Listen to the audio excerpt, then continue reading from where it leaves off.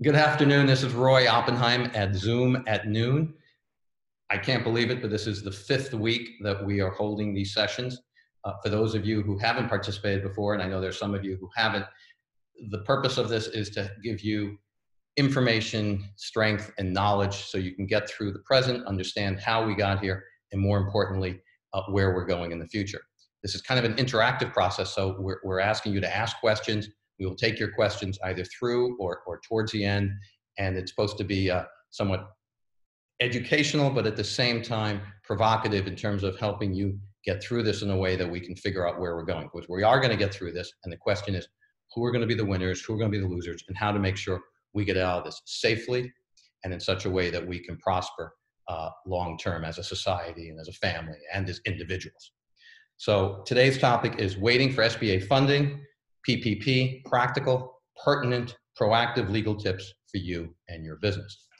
As it relates to, to legal tips, throughout the process, we'll be talking about how lawyers and the legal system come into play, how they are participating in the process, and how in some ways we, we have to do workarounds. You know, for example, how do you have a jury trial right now uh, during during this this a pandemic? And the answer is that you don't. And, and there are constitutional issues associated with that. How do people have, have a trial, even a civil trial, among their peers when you can't have a group of people sitting in a jury box right now?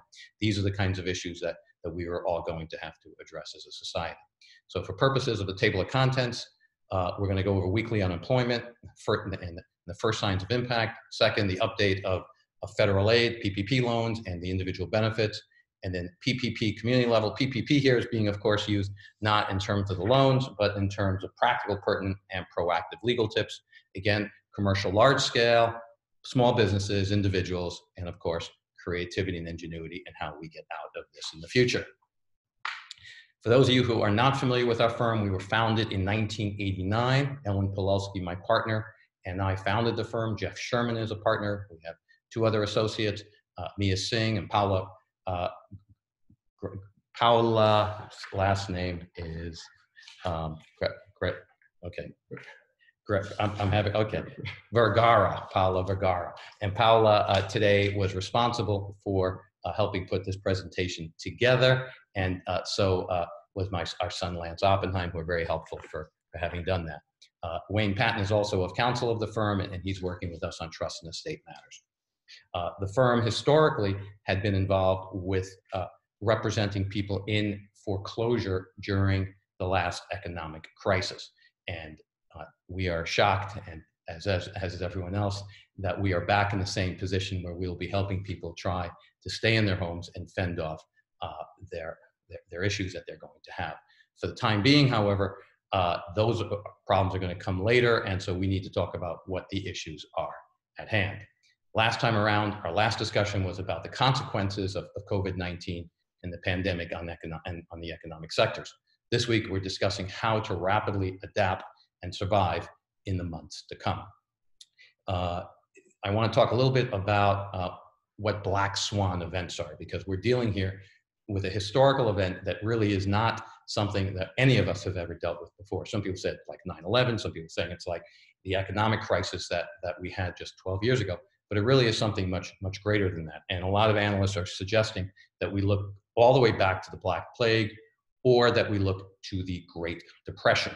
And in terms of the Black Plague, uh, a lot of things changed after the plague. Obviously, lots of people died, but what also happened was that major political and, and, and economic structures changed in such a way that society changed on a going forward basis. Uh, one of the big differences that, that occurred is that the feudal system fell apart. Many people were able to start getting types of jobs that paid higher wages. And more interestingly, lots of prices on certain commodities and products dropped precipitously. And we're going to see that happen here. For example, the price of oil is dropping, and, and it, it's unclear when, when that will, will, will improve. During the Great Depression, people started to save a ton more money after the Depression and we expect to see savings rates also continue to increase. Of course, Social Security was created, and we had the kinds of, of systems put in place that are now being doubled and tripled down during this economic crisis. Uh, I want to talk a little bit about the weekly unemployment data because this kind of tells you exactly where we are and it suggests graphically how different things are this time than they have been in the past. Uh, for example, we have probably over 17 million people that have now applied for unemployment. We, three, we see the three orange sticks at the end that are showing what the weekly unemployment rate, uh, un unemployment claims have been.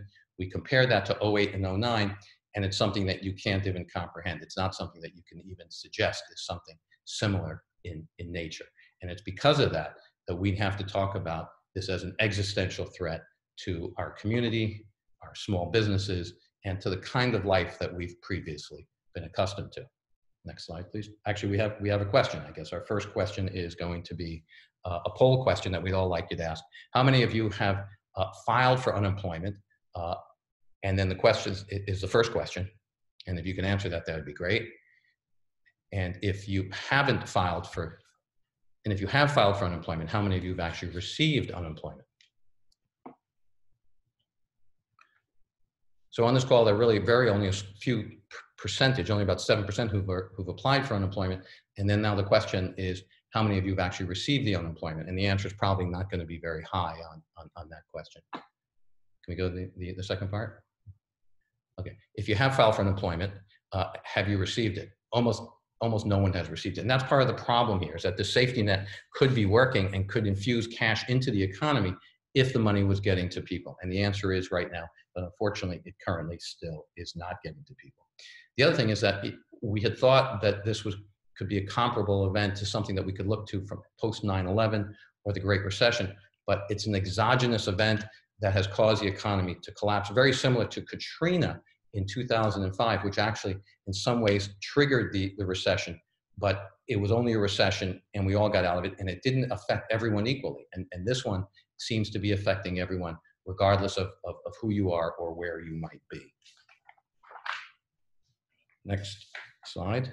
Weekly, okay, uh, want to go over the, the next slide here if we can. Uh, the virus has shown a world vulnerable to fear of illness. We have yet to experience its vulnerability to the economic consequences of that fear. And I, and I want to talk a little bit about that. For example, in China, where part of the world is starting to reopen, you have Shanghai Disney, and it's a place that people are supposed to go and bring your children and have lots of fun. Well, while it has technically opened, there are restrictions on how many people can come. Everyone has to wear a face mask. Everyone's temperature has to be taken. And you also have to show a QR code on your phone to show that, that you do have the antibodies in order to be admitted.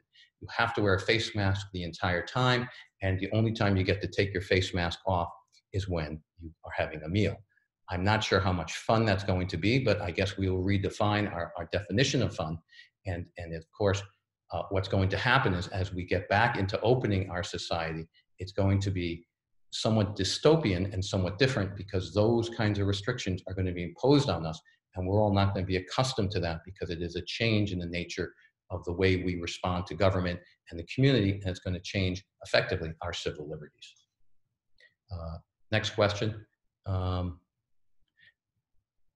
once the shelter in place ends, how long do you think social distancing will impact our way of life and the economy? Okay, um, I'm not sure if everyone gets to see these results, but everyone is suggesting that, social distancing is going to last anywhere between a quarter saying three to six months, six to 12 months is about what half the folks are saying, one to two years, 21%, and some people, 10% are suggesting over two years. It's of course going to be a question of whether or not we're all going to get the antibodies one way or the other, or whether there's going to be a vaccine, and as we talked about last week, or they're going to be palliative medicines that, that can be used to treat the, the, the, the disease in such a way that we can go on with our life and that it won't be as destructive. Either way, these all are going to take time, and until that happens, while the economy may roll open in, in parts, it will not be business as we were once accustomed to in the past. Thank you. Uh, I want to talk a little bit about what kinds of businesses and sectors are, are doing and how they're doing and how that will impact what's going to go on in, in the future for us. Uh, as we can see in this particular slide, uh, groceries are, people are spending obviously more on groceries. They're spending a lot less on health and beauty, but of course they're spending the least on travel and, and shopping has dropped off, although online shopping has, has done, done okay. I'm gonna catch up here, thank you. Uh, want to talk about the next question, and, and, and that is, what sectors you all think will come back first and, and how. And we have a choice here. And that is, um, based upon your current trends, which part of the economy do you think will come back first? And the answers are gyms, home improvements, hotels, or food or delivery.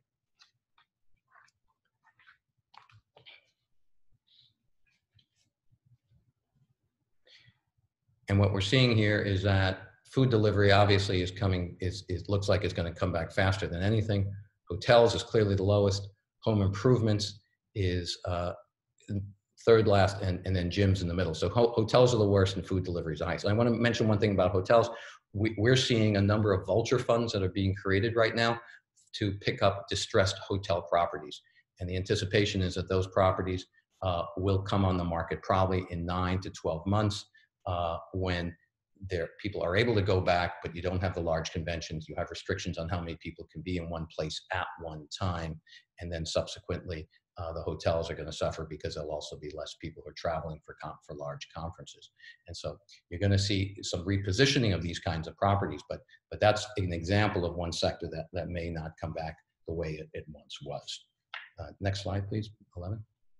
Uh, this is a slide of, of showing uh, what areas and what sectors are, are currently doing okay and which ones are doing terribly. And it's an indication of what will do better and worse in the future. Obviously, we're seeing uh, at, at, the far right that online grocers and, and gaming are doing great. Uh, video streaming, of course, meal kits, food delivery, everything that we all anticipate. Alcohol seems to be doing okay. It always does well, rain or shine. And on the, and on the worst side, uh, we see airlines, movie theaters, lodging and cruises, and fitness uh, all not doing particularly well. And, and that may be the case uh, when social distancing can, continues. Grocery sales are way up as people cook at home. Warehouse clubs doing okay, but alcohol, again, meat, meal kits, and online grocers doing the best. Spending on travel has slumped, airlines down, lodging down, cruise lines down, online travel agencies, rental cars, all down. Restaurant sales, terrible. Fine dining, we, we weren't sure about this, but we were speculating that fine dining would do worse than fast food. In fact, that's the case because you need, uh, in, in, fine dining, there, there typically is not the social spacing that you have with fast food, which is usually takeout in the first place. Fast casual and between casual dining, similar issues to fine dining, but fast food will probably not be as bad as, as the other sectors in the restaurant business, but delivery services clearly will, will be the best. And restaurants will have to recalibrate how they, they have a back kitchen for delivery services and how they're going to space uh, people out if they're going to actually eat in. Uh, spending on media and entertainment is mixed. Main losers, few winners. We look at the winners at the bottom. Ebooks, I thought people would be reading more, but certainly it looks like music streaming is doing okay. Video streaming, of course, and gaming uh, takes the top top dog. And the reason for that, by the way, is because you probably get the biggest bang for your buck on a game, and that a game isn't just like one movie uh, that you may rent. But of course, with video streaming, you have these massive libraries. But I guess gaming's interactive as, as opposed to the passive of, of just video streaming. But in terms of, of what's uh, not doing particularly well. Movie theaters are all closed. Events and attractions we talked about last week, the likelihood is that that's going to change. Toys you would think would, would be doing well. I'm not sure why they're not, uh, and that's kind of interesting. Um, but you can study this later also. Shopping is down overall, uh, particularly for brick and mortar stores. We see here that discount stores, department stores are doing the worst. Electronics at the bottom, doing the least worst. Activewear, people are working out at home luxury department stores are probably doing okay online. People still want to want to buy stuff, and uh, footwear people really aren't going very far, so they're they're not buying as as, as much uh, shoes as they were in in the past. Um, but all this is suggesting that that even when the economy comes back, certain things are going to be in, and some things are going to be out. Out on transportation, scooter shares are are are, are non-existent. Taxis are virtually non-existent. Mass transit very low. Parking not doing too well. Auto parts, auto sales, I guess people are deciding they might as well get a new car. Auto parts, a lot of people are, are, are probably re, redoing their own cars on, on their own. On health, paradoxically, has fallen. Spending on health has fallen. Um, a lot of people are not going to the doctor. They're using telehealth, which we'll talk about a little bit more. Uh, but also fitness and beauty and all, all those sectors are, are not doing well because of the close proximity and, and, and the inability to, to do these things uh, without the proper social distancing. Catch up. Okay, let's let's talk about some government programs here. You know, last time around, I, I had told people 12 years ago that they shouldn't wait for the cavalry and that the government wasn't going to come. and it took months and months before government programs really started to roll out. This time, the government seemed to want to do the right thing, and they announced this EIDL program, the Economic Injury Disaster Loan. And during our first seminars, we told people that they, if they had a business, they ought to apply for it. And you could, you would get a minimum of ten thousand dollars, of which the first ten thousand was going to be a grant, and it would, and you could get up to a two million dollar loan. Well, as as luck would have it, or as as the situation has it, is the program now has just been stuck, and the biggest grant you can get is fifteen thousand. Uh, and the $10,000 grants have, have, have dried up. I don't know almost anyone who has received them. The $2 million promise cap is gone. The government said that they should not have, have suggested that. It was a mistake, and that's not happening. Uh, very few people have gotten this loan or, or grant, and anyone who's expecting it, I'm afraid, should, should not count on it. Um, you probably should not hold your breath. Um, the lesson here is, of course, that, that cash is still king, and, and, and you need to be very cautious about your cash and how you spend it, and, and which and which uh, creditors you pay at, at this time. Thanks. Um, we have we have question four here. Thank you. Okay. Uh, question four, the EIDL. If you've applied for the economic injury disaster loan, which is called the EIDL, uh, and if so, have you received funding? So have you applied for it? Uh, and if so, have you received funding? Okay, so we have a lot of people who applied for it. Close to half of the folks here today have, have applied for it, over half. Uh,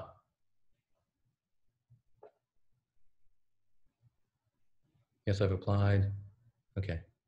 There's 2% who have applied and received funding. Congratulations to you. You should win a prize of some sort. Everyone else has applied uh, and or, or, half, a third have applied and third have, have, applied and have not received it. So 66% applied and have not received it. 2% applied and received it and 34% have not applied. So it, it's, it's just not a, a, a, successful program. The problem, of course, is that the government uh, hasn't set up the infrastructure that's necessary with the banks to process the documentation. Uh, things are a little different uh, as it relates to the PPP, the, the payment protection plan, but they're not that much better actually.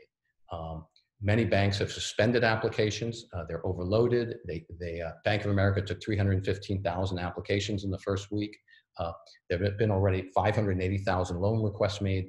Apparently over half, $151 billion has already been committed uh, to the loans. many banks are, are just overwhelmed. I know Wells Fargo is, is having a huge problem with, with getting their, their, their applications through.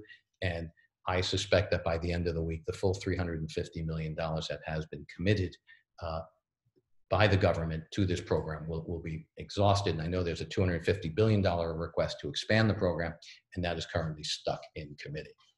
Uh, I do want to reiterate, and I mentioned this last week, that 1099s uh, will not be uh, covered in the, uh, in, in the repayment of forgiveness. So these loans can be turned into grants and you don't have to repay the loan. But unfortunately, if you only hire 1099s, like you're a general contractor and you have a bunch of subs, the loans that you use to pay your subs would have to be repaid.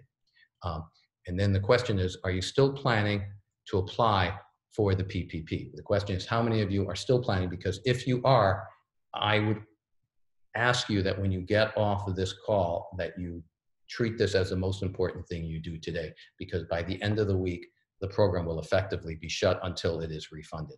So we have 57% that say they still plan on applying, 44% they do not. So those of you uh, who think they're going to apply ought, ought to do so as soon as possible. Now the problem is that the, the, the loans were first prioritized to those people who were with banks that previously had an SBA loan out there. That was the first group. The second group was folks who had a banking relationship, meaning that they had both a banking a bank account and maybe an outstanding mortgage or some other kind of line of credit that the bank uh, knew you knew who you were. The banks are not eager to be making loans to third parties who they don't have a previously strong relationship with because they're afraid that if there's fraud, that at the end of the day, the SBA, who has guaranteed the loans, will look back to the banks and say that the banks did not do their due diligence or their homework. So they wanted to go first with the customers that they had strong relationships with, who they knew, who they understood, who they already had documentation with, and all they really had to do was get updated documentation. Uh, there are ways to go to new banks, but it's going to be tough. And I think you really almost have to go through the SBA. And by the time you do that, I'm afraid that we'll probably be, be out of time. Next page. Oh, page 20 here. Uh, the other thing is individual benefits and updates. Uh, supposedly the checks in the mail, we've heard that before, the $1,200 check uh, for individuals and $500 per child. For those of you who haven't filed tax returns because you don't have to, there is a way to file a free bare bones tax return that will then make you eligible for the stimulus. This is important for retired workers and veterans who, who uh, do not receive benefits from the federal government, as well as for low income families. So it's very important that, that you all understand how, how these procedures work so we can get you that money as soon as possible. Um, Rock Creek Group Investments said that our economy is very strong, our social fabric was not. That is why the economic impact of the pandemic, pandemic is unevenly distributed. It may be unevenly distributed, but it's still affecting everyone in different ways, just like the uh, Great Depression did and just like the Black Plague did. Uh, let's talk a little bit about what's going on in Asia again, because there, there is a glimpse of, of what is, is going on in terms of a rolling out of, of, of the economy. Uh, monthly sales are coming back, but they're only at 50%. In most companies, if their sales were only 50%, they probably would not be able to meet payroll, pay their rent, and pay their taxes. But at least they have some modicum of, of a business that, that, that could flourish over, over the next few months or years. People are venturing out, out in masks. They're going out with precaution, with restrictions, and um, the amount of people that can congregate in a in in terms of any particular place, whether it's a an event or or or a conference, is very limited, and so large numbers of people are not permitted to gather. Uh, restaurants, theaters, and other personal and uh, types of live entertainment service providers will have to block space between people to maintain their social distance. And so it's going to be interesting to see how we're going to be able to continue to have movie theaters as well as venues for live performances or if we're just going to allow less people in and, and make sure that they're spaced out much further. Uh, the remote work experiment has shown that the companies probably do not need as much office space as they've previously had, and that's something that, that is not going to change as we bounce back from, from this crisis. In terms of, of the post-coronavirus communities, communities will have to grapple with the relationship between government, private entities, and the market in connection with public goods such as education, healthcare, and access technology. As I also said, this is also going to affect our legal system and how our legal system relates to uh, its constituents, the public, the judges, as well as, of course, lawyers, and, and more importantly, the jurors. And, uh, and that's a, a, problem that, that we're going to just have to continue to work with. The idea of remote uh, hearings, which is what lawyers are going through right now, is probably something that's going to be more common than uh, having to wait hours uh, for a hearing in, in a courtroom and drive down there and spend a lot of time, wasted time, arguably, uh, for the five or 10 minutes or half hour that you're going to appear before the court. So, so this may, may require courts and judges and, and the legal system to become a lot more efficient in dispensing with, with judicial resources. In terms of health coverage, the pandemic has showed that our healthcare system is as strong as its weakest link on the chain. And our weakest link, obviously, is not having enough protective gear for, for the, uh, the folks who are on the, on the front lines, the doctors and the nurses and the paramedics. Um, and, th- and that becomes our weakest link. And of course, uh, not having the proper equipment and also not being adequately prepared as a, as a nation for, for a disaster of this, of this kind. Uh, natural da- disaster preparedness budgets are not disposable. Uh, resources need to be in working condition when all is good. The time of the emergency is not the moment to scramble for a solution, which is what we're obviously doing. But as a country, we are good at that, and we're good at playing catch up, and I'm confident that we're going to get through this. Uh, financial literacy, people are going to have to understand uh, financial management better and get a stronger handle on their own finances, on their businesses. Uh, and of course, access to, to, technology. Those folks who haven't stayed up with technology are clearly uh, not going to be a winner in this, in, in, in this crisis uh, PPP for small businesses to be prepared and what's pertinent here. Uh, I think the first thing is, is as a business, uh, we have to recognize that as much as we all were uh, first a brick and mortar business, we are now uh, going to be first an online business and that the brick and mortar aspect of our business may in fact be secondary to our business and that uh, more businesses are going to, by their very nature, be more virtual. And those that are more virtual will ultimately be more successful. The ability for a business to be able to continue to work in some way with people at home or at any new location is going to make them nimble and make them be a winner in, in this crisis. Those businesses that are hunkered down to a particular location at any point in time are those businesses that are going to have to figure out how to reinvent themselves. Um, in terms of what to do immediately, the first thing that you need to do is obviously you have to contact your creditors if they're folks that you owe money to, whether it's a landlord, a, lend, a, a lender, uh, whether it's a car payment, whether it's even a utility, uh, whether it's it's a credit card. All those creditors are working with their borrowers and their clients because they know that without you, they don't exist, and they're all being at this point in time, uh, for the most part, working out solutions so that when you get back in business, you can make up your payments and you can get back on your feet. Now, there are always going to be outliers. There are going to be some landlords and some lenders that aren't going to be helpful. And that's where your lawyers come in. That's where bankruptcy lawyers come in. That's where Zach Schulmuth, who's on the phone with us, who works with us very closely, uh, is, is with us. Uh, those are the types of situations we're going to have to look at. But for the time being, do not be afraid to pick up that phone. Do not be afraid to call us and have us assist you with this process. It is very important that you don't just let these bills pile up.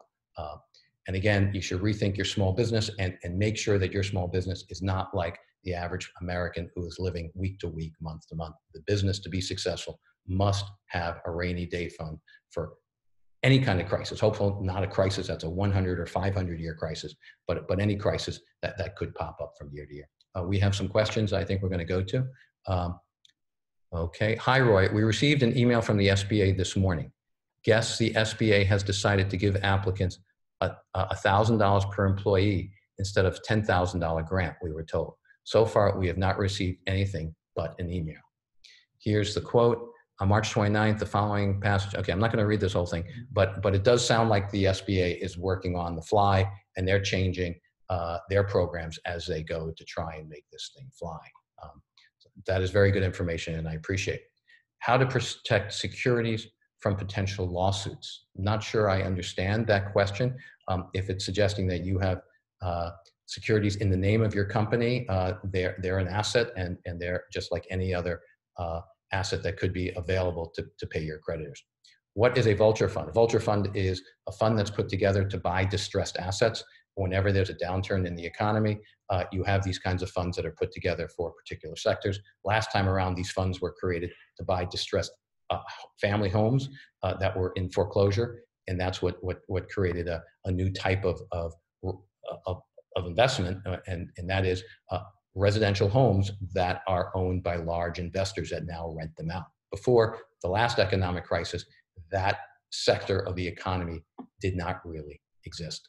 Um, not really a question, but an observation on PPP. Big fintech companies like Intuit and PayPal are rolling out the PPP the next few days, probably doing so because of all the stories of Wells Fargo and the other banks not responding efficiently. More importantly, I doubt they get in this so late in the game. If there weren't money left available, overheard, there's still about 100 billion that hasn't been allocated. Yeah, so there's a, probably about 100 billion that hasn't been allocated. There's probably another 250 billion that will get allocated. Excuse me, that will come fresh. So that's 350. So they're thinking that they can jump in.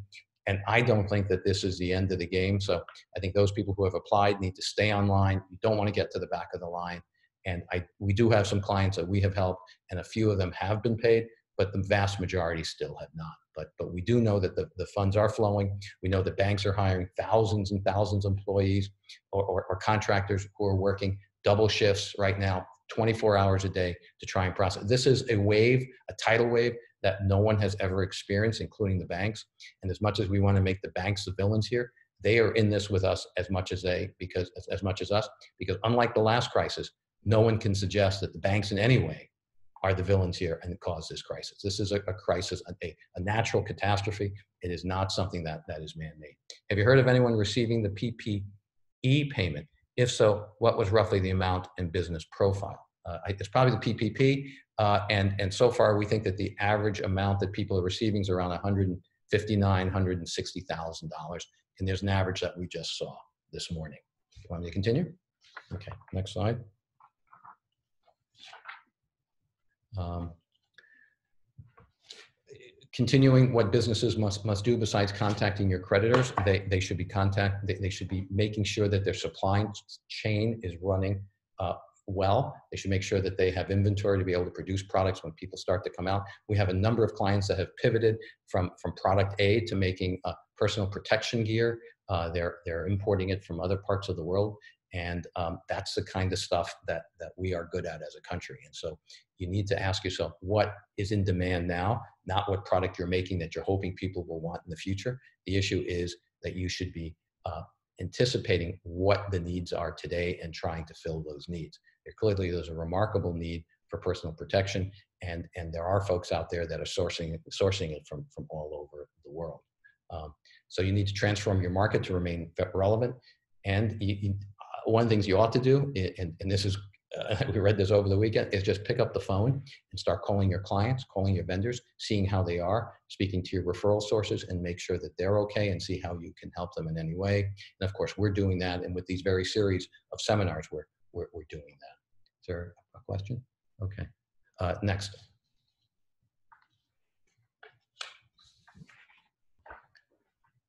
Uh, as for individuals, similar uh, suggestions that we have for, for yourself as we do for small businesses. You need to contact your, your creditors. You can call even your, your power company. You can call your, your, your, um, your, your phone company. You can call any of you, you, your utilities, your water company, and they've all created payment plans and allow you to, to skip a payment or to delay a payment until you're back on your feet. And so uh, you need to do that and not put your head in the sand here, but to actually reach out and they will be very supportive. Of course, credit card companies are doing all kinds of things too. And so we, we need for you to do that. And, and of course, we talked about contacting your landlords and of course, your mortgage company. Uh, the biggest mistake would be to ignore your bills and not be responsive. Same thing with medical bills. If you have some medical bills, call them and tell them that you'll take care of it when, when, when, when you're back on your feet and you'll get some sort of dispensation. Um,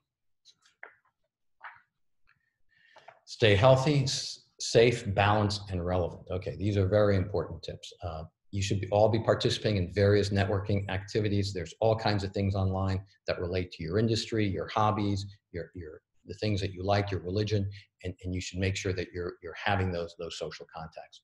Uh, you should try and keep a, a schedule and divide your personal time from your work time uh, so that even though if you're in the same space, you're making sure that there is uh, a division between uh, your weekends, your week, your evenings, your mornings, so it all doesn't become one big blur. Uh, and of course, professional advice, whether it's, it's psychological advice or legal advice or accounting advice, uh, it's important that, that you do that. Uh, all the, the professionals are working, they're all working remotely, like just like our firm is. And if you all have any questions uh, that come up from what we talk about today, we actually have special pricing for uh, for folks who listen to our seminars so, so that we can, we can work with you all also and provide the services that, that, that, you, that you need. Um, in terms of long-term goals, you have to, you know, keep them in mind, but be nimble and understand that this is one of the first times in all of our living lives that while we usually know what the future is going to look like, we can think what the future may look like, but we're not sure. We do know that this will end.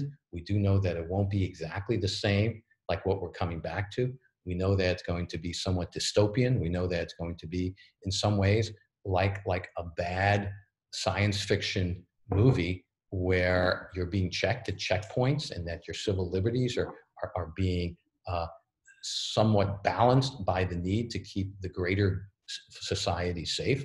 And those are the kinds of issues that, that we're going to have to look at. So long-term goals, uh, we should keep them, but we also need to make sure that we're that we're fulfilling short-term needs and balancing those two. And it's a really tough situation when none of us in our lives have ever had, had to do that. Okay. Uh, just as importantly, we have a, a COVID-19 section on our website, www.oppenheimlaw.com. It's right on the top, and if you're on your phone, it just pops up.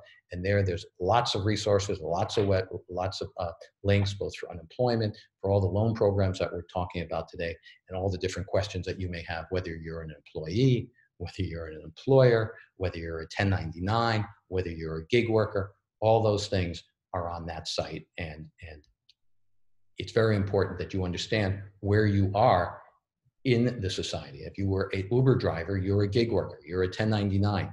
What benefits can you apply for? Can you apply for unemployment? Yes. Can you apply for the PPP? Technically, yes. What is better for you? The answer to that is you need to speak to your lawyer and your accountant to figure that out.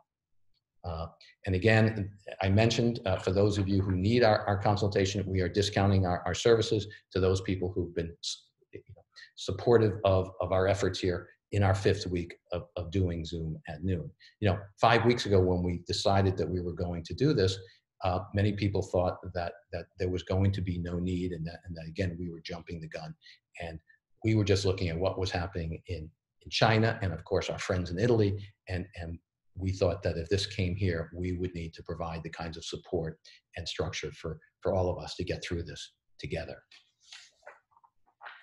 Keep your eyes open for solutions to new challenges. Be on the lookout for new ways uh, people are solving problems. Be open to try unorthodox solutions. I mean, it, it, at this point, we have to try different things and see what works. I mean, obviously, the medical community is doing that, trying to figure out if they if they have found a, cure, which they probably have not. They're working on on on a uh, vaccine. Many people are working on a vaccine, and, and obviously we're hopeful that that will come about. And then we're looking to see if we can transfer antibodies from people who've had it, who now are less likely to get it, and how long those antibodies are going to be good for. And so the way society is going to open up is where is when one of these three uh, uh, uh, highways opens up to allow for us to feel comfortable socially being close to in proximity to one another. Until that time, it's going to be very different. The flexible bend, the inflexible break, I believe that comes from a, uh, from some Chinese, from a, from a Chinese proverb actually, and that, and that those folks that are, that are able to bend, those houses in hurricanes that were able to, to withstand storms because they were made out of wood and actually were able to flex, uh, the kinds of, of, uh, of wood that, that, that, that bends, such as bamboo when it blows in the wind, they are, are flexible. The inflexible will ultimately break.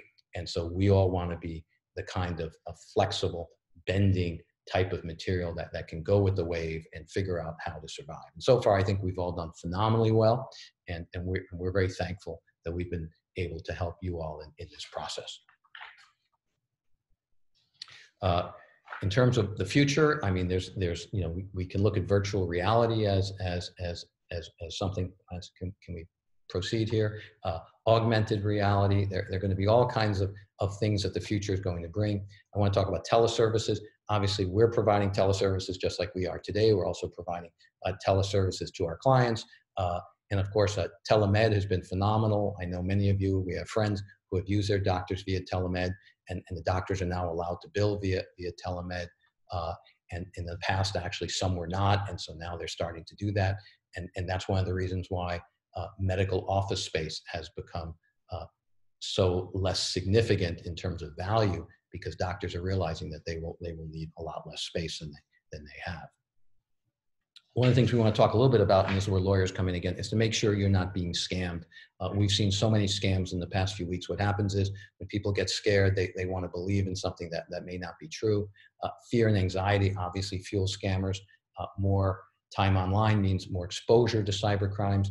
Uh, remote workers offers access to potentially confidential information and data breaches, so we all have to be careful about that. Please don't let your guard down. Protect yourself, protect your client's information, protect your own personal information. Do not release your social security information uh, unless it's maybe over the phone and it's to someone that you're absolutely certain needs it. Um, and again, using licensed professionals is, is critical at this point in time. They're here to make sure that, that you are protected. Um, we have some websites here that, that we all want to, to go over. We have the SBA loan applications, uh, we have the uh, disaster relief applications, and we have the Florida unemployment application. Um, I think there's also a, uh, a new Florida unemployment site that we have now on our uh, COVID-19 site on our website, and it may, may need to be updated. I know we have some questions. Let's see what we got here. Okay, I received the same email Okay. Oh, someone else received the same email from the SBA. They'll give me a thousand dollars per employee, uh, uh, and the business had in January. Okay, so that's that's a new uh, a new concept that, that they didn't previously say. Previously, they said they were giving businesses $10,000. Uh, someone else says, I've accepted a deferment payment from my mortgage company. Will this ruin my credit? I got a letter from my credit union saying that they may report uh, to credit bureaus. Most banks are not, and I, I think that's something that you can always respond to and say it was part of COVID 19. And since so many people are going to be in the same boat, the credit agencies are going to have to reassess how they evaluate credit if, if anyone's going to make a loan to anyone. I think right now, uh, worrying about your credit score is less important than hanging on to enough money for your family to make sure that you can get through the, the next several weeks. I've tried to talk to a couple of credit cards. They are very reluctant to lower the interest rate as a help. No, they're not going to lower the interest rate. That, that they're not going to do. Uh, but what they will do is, is, is lower the monthly payment or, or allow you to defer a payment. Obviously, high interest credit cards is a disaster long term, but right now it may be your only lifeline. Are there any protections for multifamily landlords for foreclosures and such if tenants are not paying? Are there any protections for multifamily landlords uh, for foreclosures? Not sure what that means. So if you're a landlord, uh, right now you probably uh, are going to have difficulty bringing a foreclosure in some states. Uh, but of course, you'd be bringing an eviction if you're a landlord. So I'm not sure uh, if we're talking about tenants here. So if we're talking about tenants, some evictions are going to be difficult and, and you're going to have to tread lightly. And so the best thing to do is to work something out with, with your tenants. Of course, that's different for uh, commercial tenants versus, versus uh, residential tenants. Did you know where self-employed individuals who don't own a company can apply for the PPP? Do you know where self-employed individuals? The answer is yes. You would have to go to your bank, and it sounds like if you don't have a bank, um, then you would have to go to the uh, to the SBA to the website that that we have uh, both at the end of this presentation as well as the uh, the, the, the URL that we have uh, on our website. With regard to the EIDL advance, it appears that a business must have employees.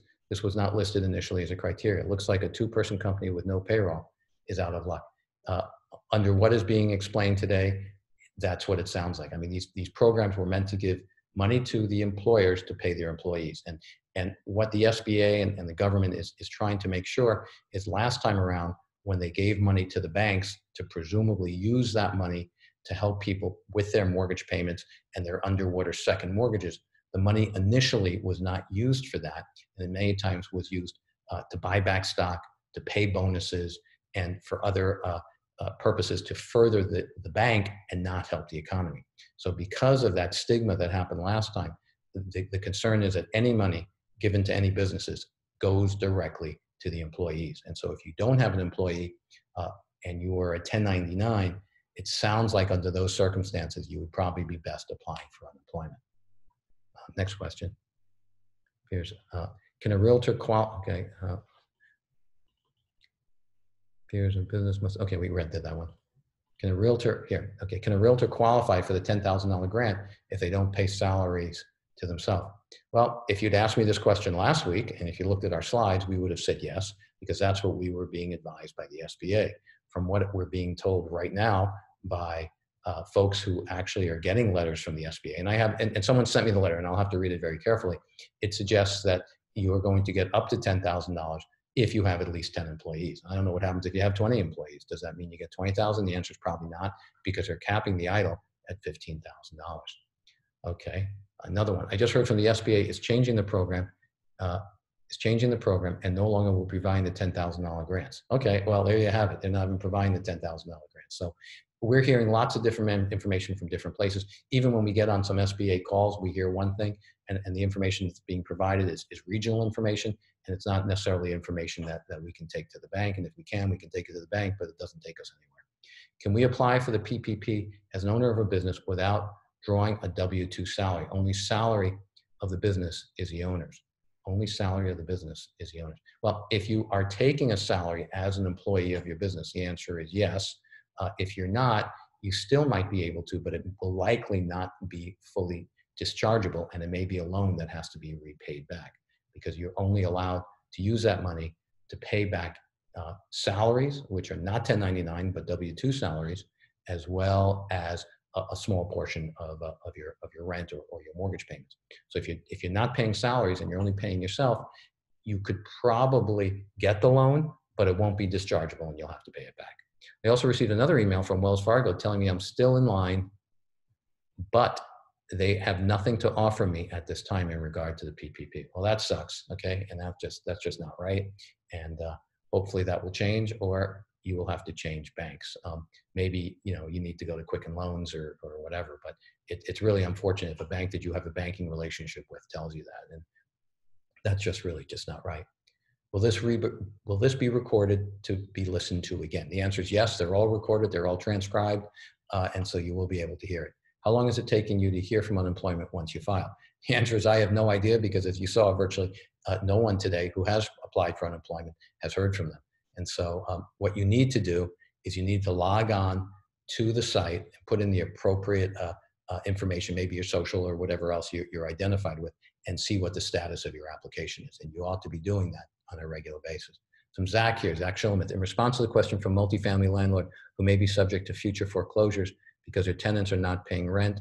Uh, a Chapter 11 bankruptcy for the landlord under the new chapter, uh, under the new subchapter 5 may be beneficial to reorganize a mortgage debt that they cannot pay right now, and that and that's excellent. Um, in fact, can we go? Can we go to Zach for a second? Zach, you there? No, we can't. Okay.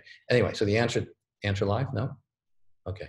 Uh, Zach, thank you. Yeah. So so the answer is that you may have to file for some reorganization if, in fact, you're you're uh, having a problem with your landlord and excuse me with your with your bank because your tenants aren't paying it and maybe the the, the new uh, chapter 5 in subchapter 11 would be a perfect perfect answer for for you um, i think we have a few more questions here uh, uh, SBA has been directed by the government to pay $10,000. Can they arbitrarily change the specifics of the government directive?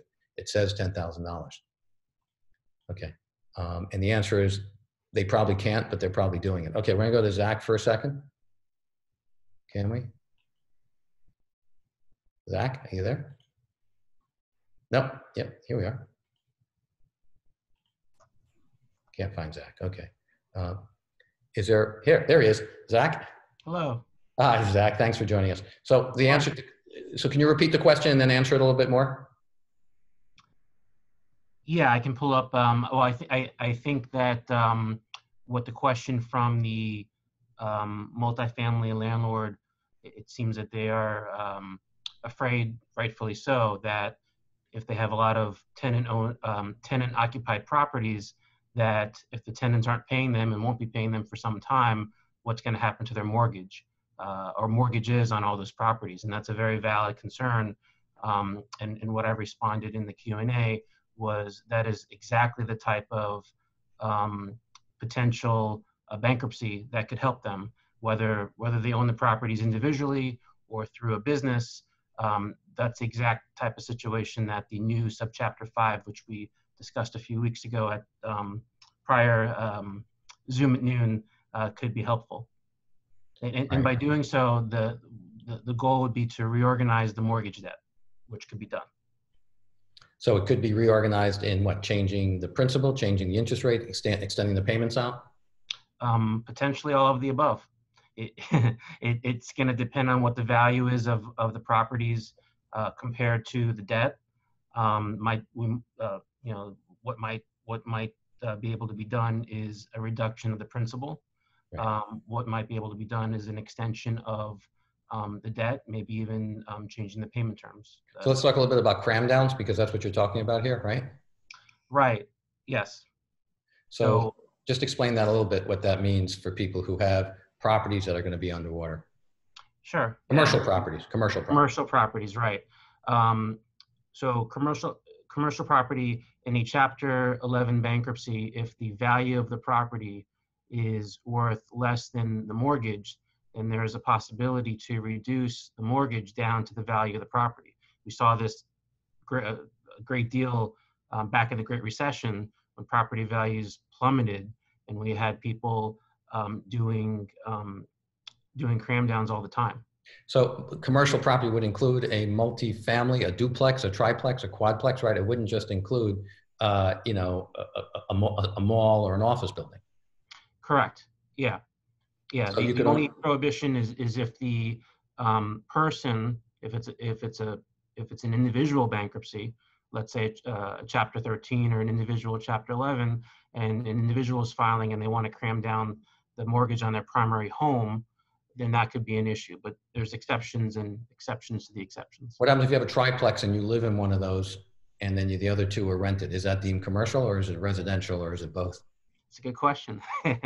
um, I, I, I think that a situation like that, they would be able to to cram down. Because we have a lot of people on the call today who own vacation rentals, and those are all commercial properties.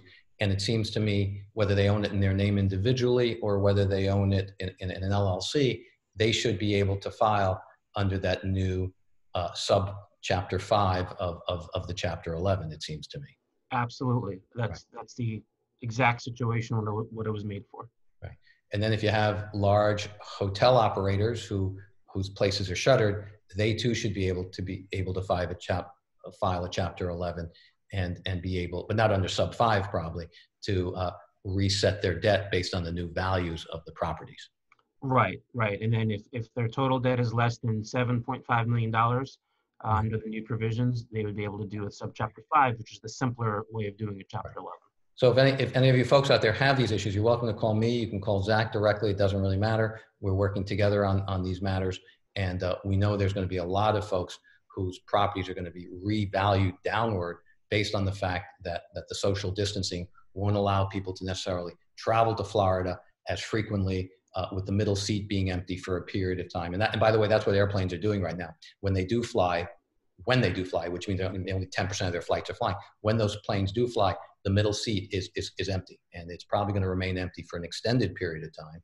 Uh, in fact, there were years ago, I remember the middle seat was always empty. And then all of a sudden they started cramming people in. And so we're, we're, we're kind of going to go back to where we were, where flying was maybe more expensive and, and, and we just didn't decide to just go somewhere. It was a big thing. And, and that middle seat's going to be empty, which means flights are going to be more expensive, but also means less people are going to come down for vacation rentals. And when they do come down, they will come down for longer periods of time. They will come down, you know, maybe for the whole season and not just, just for a week. So, so the idea of spring break may disappear for a period of time because uh, this new social distancing just won't conform with, with, with, with how spring break is, is currently organized and how, we, how people travel down for, for spring break. We have another question here. How long is it taking to hear from? No, we, I think we've done these. Is there? SBA has been directed. No, these are all from the SBA. No, these are all these are all, these are all the questions we've had. Um, are there any other questions? I just want to make sure that we've we've answered all the questions. Um, I've accepted a deferment payment from my mortgage company.